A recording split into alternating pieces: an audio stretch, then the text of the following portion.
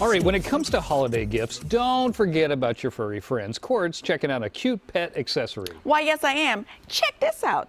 They're called zoo snoods. Okay, Oh. now I have them on my hands right now as Uh-huh. if it's a, a, a hand puppet, but these are not for humans. No, these are for your fur babies. Hmm. These are for the smallest fur babies, Uh, yeah. clearly. But they come in different. Uh, they come in different sizes. Okay, wait, Hal, Hal, pause, pause the uh, the the Lion King. Okay, ready, ready. But what does this look like specifically? This one on an actual fur baby? Oh, let's find out, shall Let's we? find out. That's my little Chihuahua Gracie. Rocking the lion. Oh, she looks great. That's fun. How long did it stay on? Actually, she she kept it on for a while, and then after we had our fun, she was like, "Okay, enough humans," and she uh-huh. was able to take it off her own head. It was hilarious.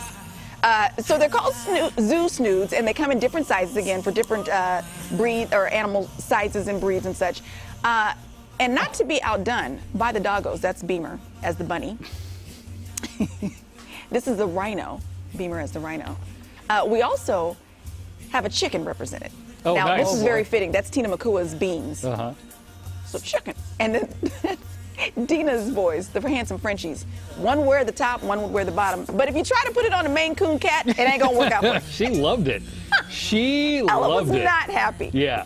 She's going to be, uh, you know, repping that company for a long time. She's an influencer. She really is. Do you have any scratches on you? Uh, she hasn't spoken to me since then.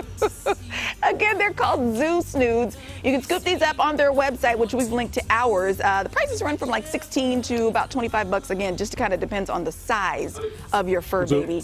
Again, Zoo Snoods. Ask for them by name.